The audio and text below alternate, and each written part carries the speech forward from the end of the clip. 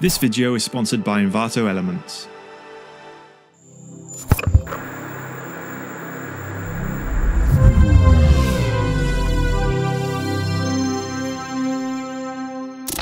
It's been a while since I created an underwater piece, and I love movies that are based on the premise of deep sea exploration. The Abyss and Sphere come to mind, but it's the more recent movie Underwater that has inspired this piece. This movie is beautifully shot with some awesome underwater cinematography, as well as some incredible concept art from the master Andrée Wallin.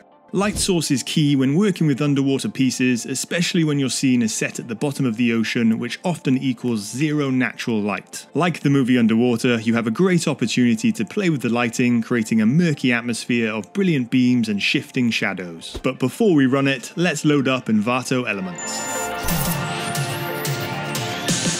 With over 50 million assets, Envato Elements is the perfect resource to have at your disposal. It's my number one place to go, but not just for stock photos. Envato Elements offers an awesome collection of high quality assets from stock videos, music, motion graphics, sound effects, and so much more. For this week's artwork, I needed some underwater organisms, like coral.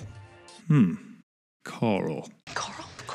Coral, Coral, Coral, Coral, Coral. Using the search bar, you simply select 3D, type in what you need, and behold, so much coral to choose from. Having the option to use 3D images in my pieces is super helpful and a massive time saver. Once you've selected the 3D asset, you can then rotate to find the angle you want and download it as either a PNG or PSD. These are already cut out and ready to go. And if you need to try a few other options, with Envato Elements you get unlimited downloads. You can download all the assets you want with one subscription. If Envato Elements is for you, they offer 50% off an annual subscription. So rather than paying $33 per month month on a monthly plan, you'll be paying $16.50 per month on an annual plan. I'll drop a link in the description below.